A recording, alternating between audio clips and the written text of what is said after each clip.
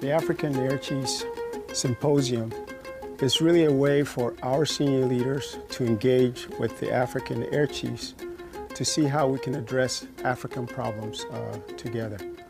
It started about five years ago. Uh, we've held it in different parts of the continent. This year we have over 19 air chiefs participating here in Mauritania. Well, there's three very important things we're here to do. First is to underscore the U.S. commitment to security in this region. It's very important. The second thing we're here to do is to continue to grow and strengthen some of the existing relationships. And where possible, grow some new ones because the problems in front of us all really take a lot of teamwork. So those relationships are essential.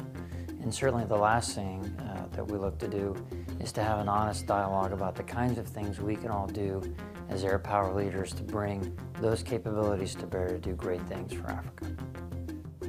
It's a platform for the air chiefs to network together, to dialogue, to find solutions to common problems facing the continent.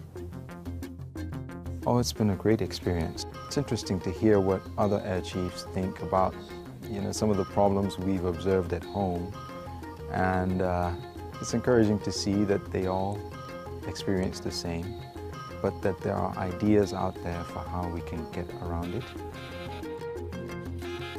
Some of them have actually said this is the first time they've had the opportunity to talk to some of their counterparts in the, uh, on, in the, on the other side of the continent. And so in order to make sure that we foster that, we have events planned not only in the conference room but also outside. As we continue to hold this symposium, we will get to know one another more and more. And in the process, we will get to trust one another more.